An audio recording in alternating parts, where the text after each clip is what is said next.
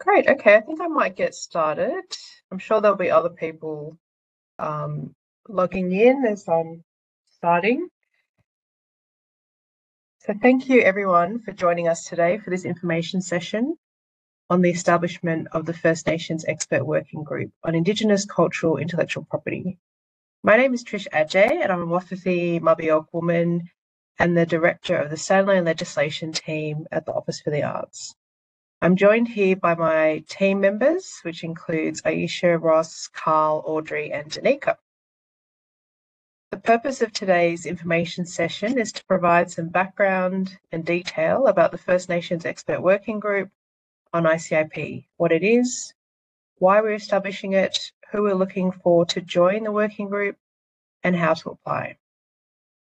We're also here to help answer any questions that you may have about the expert working group and the application process. So just a few housekeeping matters before we begin. As we've mentioned, but you may notice that the session is being recorded. Uh, we'll be putting a recording of today's information session on the Office of the Arts Standalone Legislation website, as well as on the AusTender page. Please remain on mute to eliminate background noise during the presentation. At the end of the presentation, there'll be plenty of time for questions. If you'd like to submit any questions during the presentation, you can add them to the chat and we can answer those at the end of the session. A reminder that any questions we are asked and responses given will be included in the FAQ document published on our webpage and updated on the AusTender website to ensure everyone is getting the same information. So I'd like to begin by acknowledging the traditional custodians of the lands on which our department is located and where we conduct our business. I'm talking to you today from Mparntwe, Alice Springs, the traditional lands of the Aranda people. I'd also like to acknowledge and welcome Aboriginal and Torres Strait Islander people who are with us today and also pay respects to the different lands that you're zooming in from as well. So who is Office for the Arts? Uh, the Office for the Arts is the Australian government department responsible for developing policies and delivering programs which support participation in and access to Australia's arts and cultural sector. This includes a number of Indigenous in initiatives, such as the Indigenous Visual Arts Industry Support Program, or IVAIS, which provides funding for over 80,000, sorry, 80 um, Indigenous owned art centres, the repatriation of Aboriginal and Torres Strait Islander ancestors from overseas, as well as the Indigenous Languages and Arts Program. The Office for the Arts is also responsible for commitments under the National Cultural Policy Revive. This leads me to the purpose in setting up the First Nations Expert Working Group. One of the commitments in Revive is to introduce standalone legislation to protect First Nations traditional knowledge and cultural expressions, including to address the harm caused by fake art, merchandise, and souvenirs. Another term that we know for TK and TCEs is Indigenous Cultural Intellectual Property, or ICIP. As we all know, in First Nations matters, the process by which we do things is just as important as the subject matter. Um, for all actions under the National Cultural Policy, including the development of this legislation, the Australian Government has committed to a First Nations led process. To ensure, to ensure a First Nations led process, the Department has funding over the next four years to engage in community consultation on the development of the legislation. Additionally, and for the reason for our information session today, we are also establishing a new First Nations expert working group on ICIP. So what is ICIP? Most of you probably know, but um, just a bit of background, Indigenous Cultural IP or ICIP refers to the rights that First Nations have and want to, in relation to their culture and cultural heritage. Current Australian laws have not been designed for or by First Nations people. While existing laws, such as intellectual property laws, may provide a degree of protection in certain circumstances, this is the exception rather than the rule, and there are many gaps in the current protections for ICIP. Some of these gaps include no requirements relating to obtaining informed consent from rights holders or cultural custodians, no recognition of communal ownership of ICIP, no recognition of um, oral stories or particular designs and styles that come out of communities, and also no penalties for breaching ICIP. This leads us to the work of the First Nations Expert Working Group. Firstly, the main objective of the First Nations Expert Working Group will be to provide strategic advice to the Office for the Arts and also other government departments on the development of this new legislation to protect ICIP. The First Nations Expert Working Group will also assist in promoting awareness and understanding of ICIP as it relates to the standalone legislation and give advice to government on any associated measures being delivered by the Office for the Arts. So just in relation to the working conditions, the First Nations Expert Working Group will operate for three years. There'll be a maximum of seven members and one chair. Members will serve two-year terms with the possibility to extend for a third year. The position is a paid part-time role. Payment is based on the rates set by the Remuneration Tribunal. The daily fee for the chair is $595 and for members $448. The commitment will require members to attend at least five meetings per year We've also allocated for up to 12 working days if required. Members will ordinarily work in a hybrid environment, working online and face-to-face. Travel may be required for attendance at some meetings, as well as for some of the annual community consultation. The Office for the Arts will provide Secretariat support for the meetings, and the Office for the Arts will cover costs and assist with any relevant arrangements for travel. So who are we looking for? Applicants for the First Nations Expert Working Group must be Aboriginal and or Torres Strait Islander. This is because only Aboriginal and Torres Strait Islander people have the deep knowledge and lived experience of ICIP to be able to inform the work of the First Nations Expert Working Group. It is also in keeping with the Australian Government's commitment for the work on the legislation to be developed through a First Nations led process, as well as broader government commitments under Closing the Gap. In terms of skill set, we are looking for candidates with one or more of the following criteria.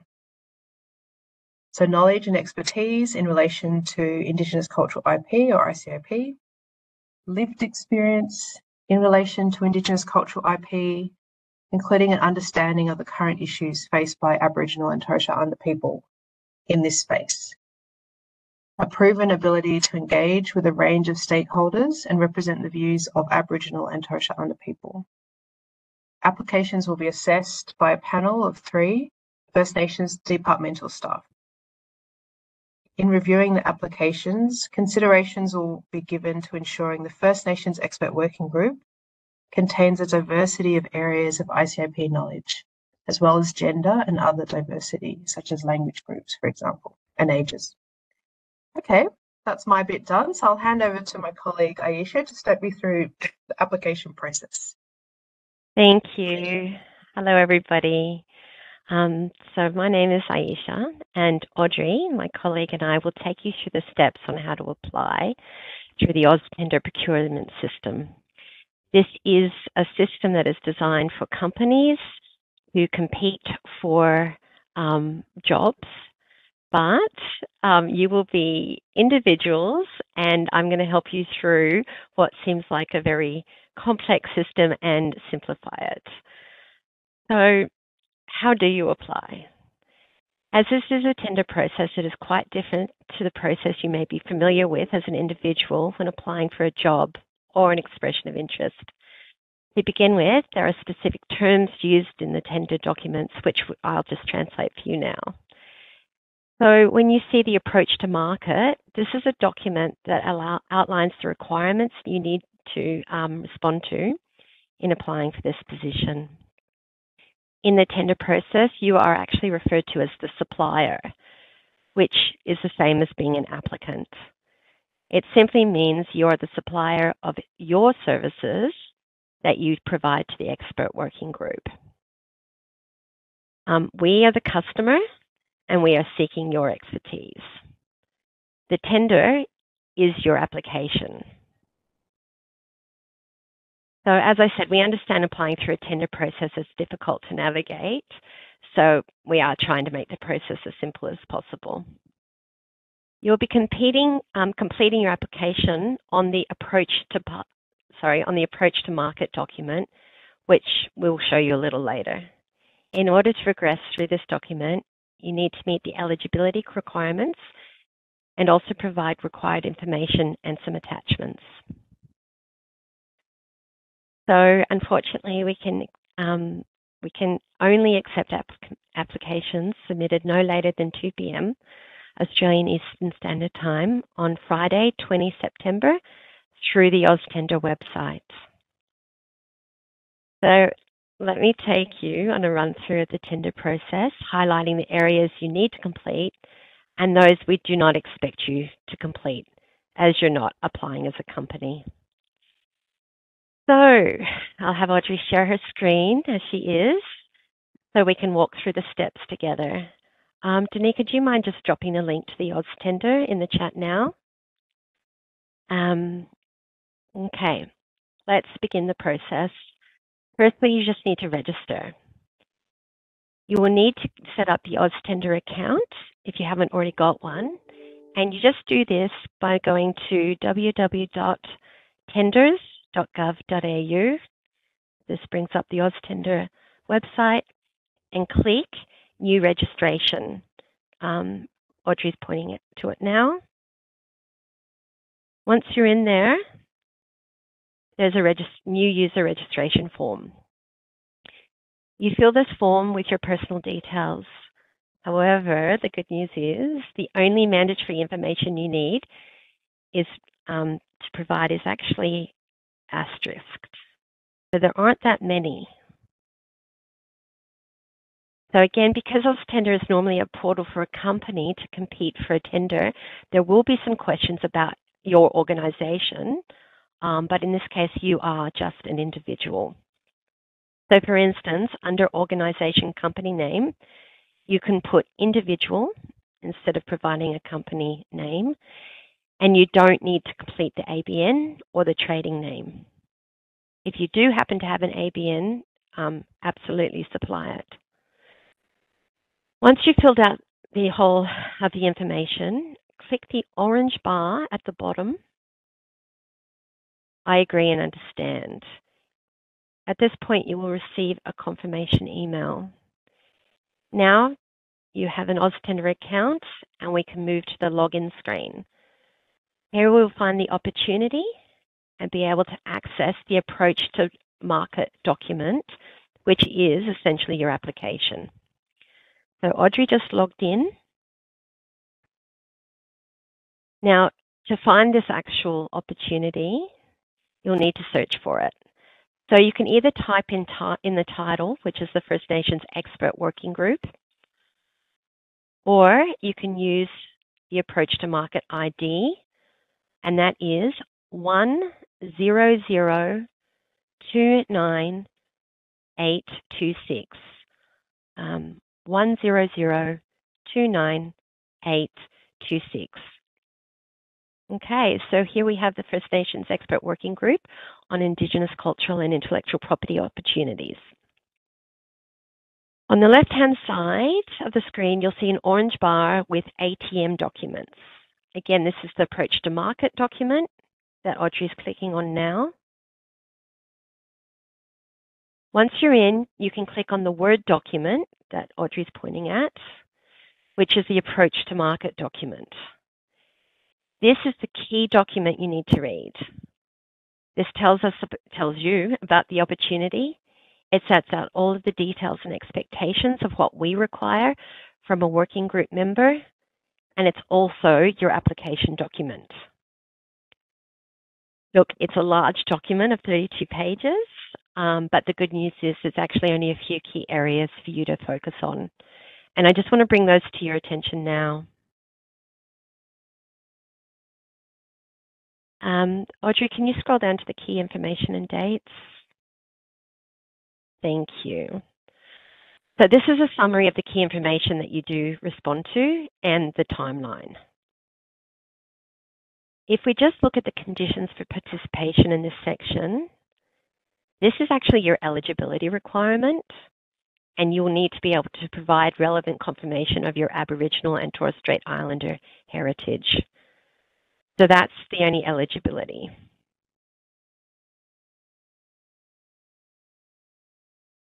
Okay, Audrey, thanks. Can you scroll down to page five where we find the criteria? Trisha's actually already covered the criteria, but I just wanted to point out where you can find it in this document. Later on, we'll show you where you can actually provide a pitch of up to 500 words, which is approximately a page, to illustrate your expertise in at least one of these three criteria. Okay, let's move to page six.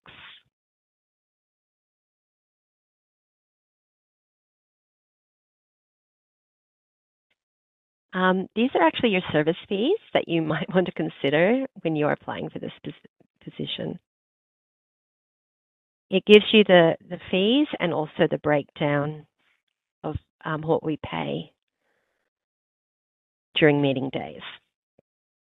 Okay, moving on to page eight.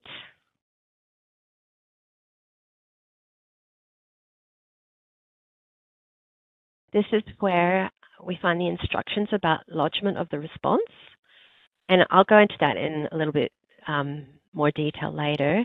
But this is a good reminder that there are at least three documents you'll need to have saved for the lodgement. These documents are the approach to market application, which is the document we're in now. You'll have to save it after you have completed it, your CV, and the confirmation of your heritage. All of these documents need to be provided as either a Word document or a PDF. Okay, on page 22, this is where you will begin your application. Your application, again, is called the Response to Approach to Market.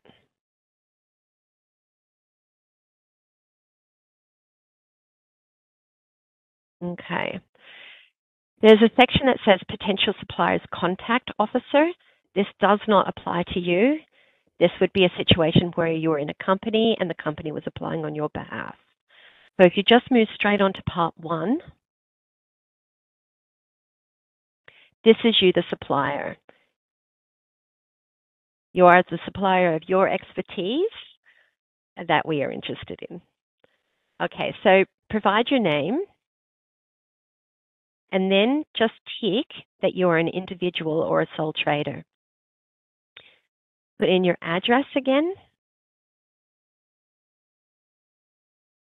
And then where it says country of tax residency, this doesn't apply to you as you are not a company. Um, but again, if you have an ABN, do supply it. If not, that's completely fine. Okay, part two. This is on page 26.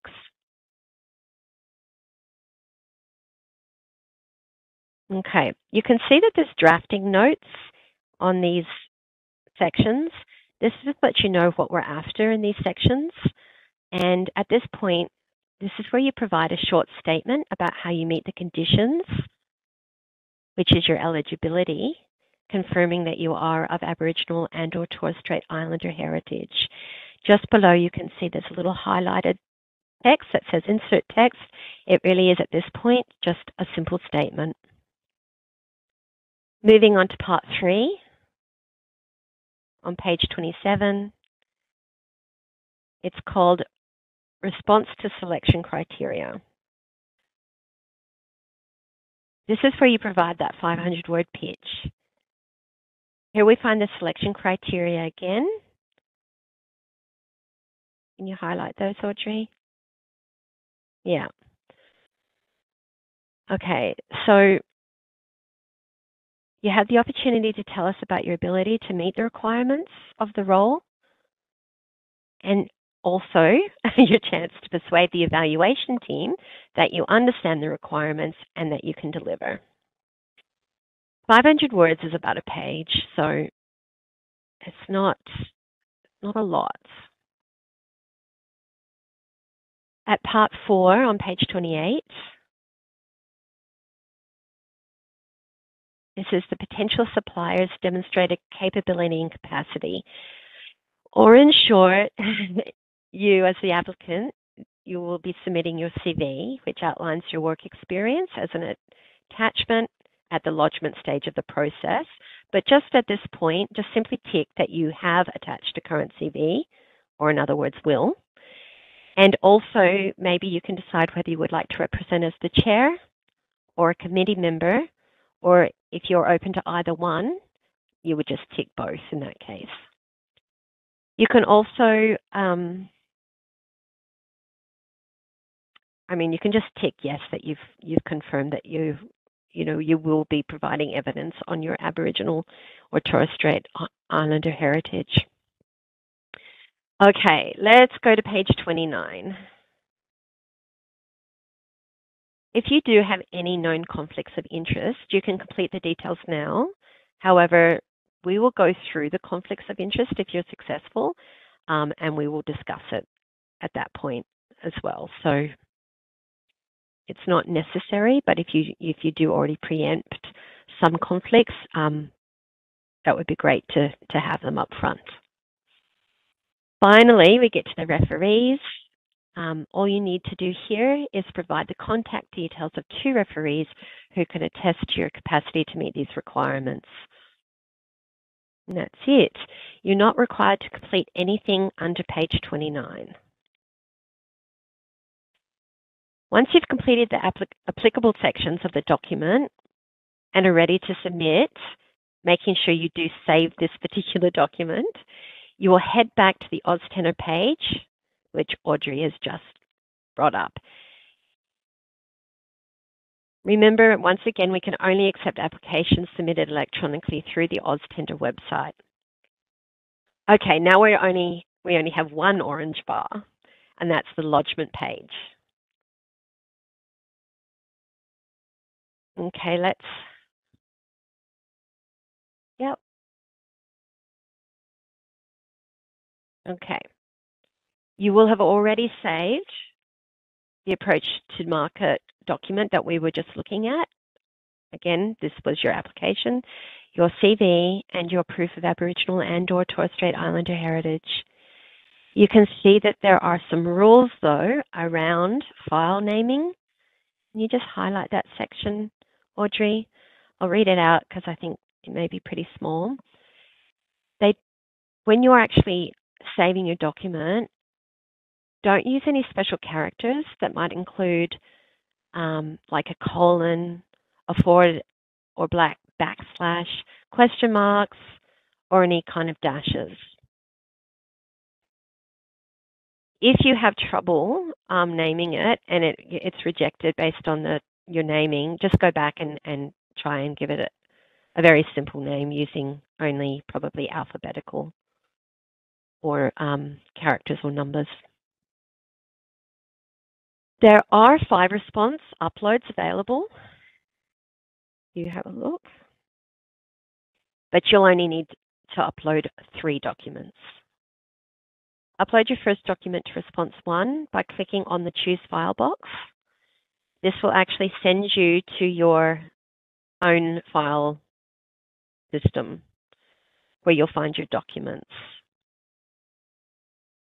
When you've uploaded all three of the documents and you're ready to submit, click that orange Lodge response bar at the bottom. You'll get an on-screen receipt immediately, but also you will receive an email from AusTender to the registered user email address that you supplied. Again, please make sure you have uploaded your application documents on AusTender before 2 p.m. Australian Eastern Standard Time on the 20th September. We will not be able to accept any applications that are lodged after that cutoff time. If you save your receipt, that will be proof that you have actually lodged an application if there's any question, which does actually bring us two questions. So that's the end of our formal presentation, and we're happy to take any questions that you might have. You can either pop your questions into the chat or we can start um, where we can start answering them. But we're also for people to virtually raise their hands. We'll unmute you. Um, so I will hand this back to Trish or anyone else in the team that may want to take up a question. But if we can answer your questions immediately today, we can take them on notice and we will add them to the FAQs, which will be published on our website. But we will also need to update the document, um, the question and answer document in AusTender. So over to you. Thank you very much. Thanks, Aisha. Okay, wait, Tui. So I will request unmute um, Tui, sorry. And yeah, there you go. I've just got a question in relation to your Aboriginality check. Um, I am not signed up with my local land council. I have, I know who, who my family is, who my mob is, and I have my family tree. It takes ages for land councils to do the verification checks with anthropologists who are also non-Indigenous. It's really problematic. I've worked in this space for a long time from Western Australia and having to get that cleared, I'm, I'm not sure how you plan to deal with that, being that it's very colonial in nature. Great, thanks for your question. Um, I know it is a difficult, complex um, issue. I think we we'll have to take this one on notice and um, we'll update the FAQ page um, about this issue. Yeah, um, like I said, I'm happy to send in my family tree. You can actually see my whole family if you know Western Australia and where I sit and how I'm connected. But yeah, yeah. it's it's problematic. Great. Thanks, Tui. And I, I know your sister as well. Oh, awesome. yeah. um, Craig has a question. Is 3.1, oh, question 3.1 response comes to around 700 words, but fits in the page. Is that okay? Yep, I think that would be okay. Okay, great. And there was a question earlier from Ruth. My colleague is looking at applying through our company, e.g. our company applies nominating him. Is that okay? Um, I think we also have to just double check this one, but um, in terms of non-Indigenous businesses, companies applying, um, they can nominate a person, individual who's Aboriginal and or Torres Strait Islander. Um, but that, that person would be acting on behalf of um, themselves and not the company. But we'll we'll also double check that one with procurement as well. So thanks for that question. Uh, James has asked who is part of the evaluation team. Um, so we have First Nations staff from across the department from Office for the Arts who will be on the evaluation team. I'll be chairing that team and we have someone from the repatriation team and someone from our First Nations partnership team. Thanks for that question. Craig's got another question. I've also filled in the form using my company name and myself as the representative. Is that okay? Yes, that's okay. And what else? So, so Craig's the sole shareholder of the company. Yes, that's fine. Um, sorry, Lorraine, you missed the beginning. Uh, this session has been recorded, so it will sit on our website. Um, so you can go back to the recording and catch up on the um, content that content that you missed as well. Thank you. Thanks for those questions. Any other? Questions? Yeah, we have a question from Peter.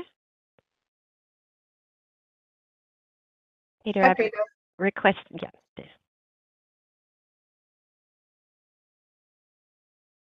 You're on, Peter. Hi, Peter.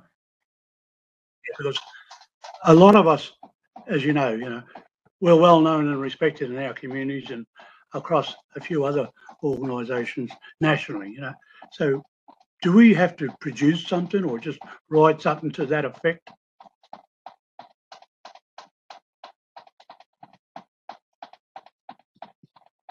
Trish, can you hear the question? Um, yes. Uh, so do you want to answer that one? So I think you said you mentioned the CV that has to be Are you- included. Are you Is that sorry, Peter? Are you referring to your um, the confirmation of your heritage? Yeah, yeah. I mean, how do you, what criteria are you looking at?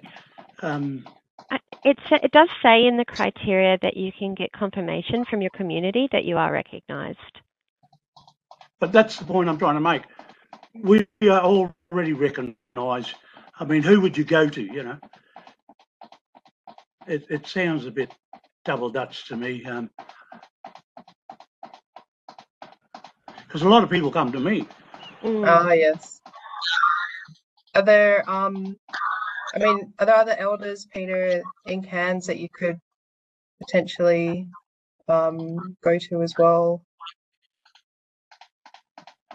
I mean, I could, but it's just ironic that you're asking someone to vouch for you after so many years of working and serving in the community. Okay, well, we'll take that question on notice and, um, like I said to Tui, we'll get, we'll update the, the frequently asked Alright. questions page. But thanks, thanks for the question, Peter. Thank you, Trish.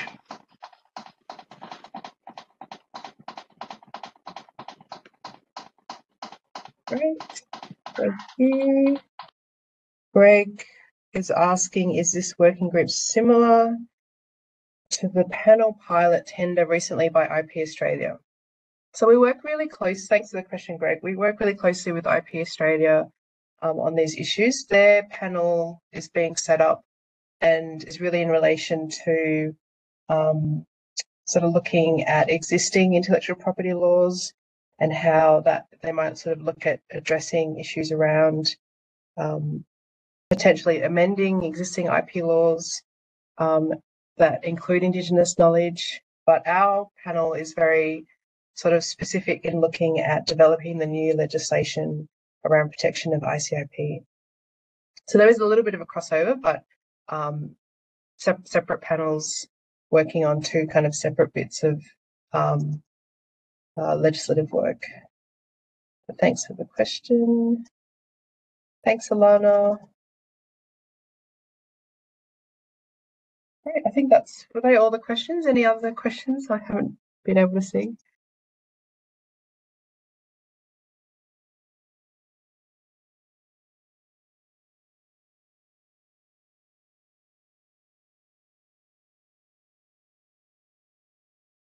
Excellent. With the no further questions, um, thank you all for attending this afternoon.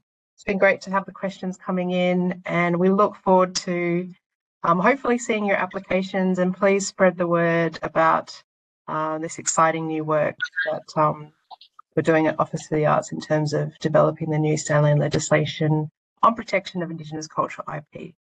Have a great day. Thank you.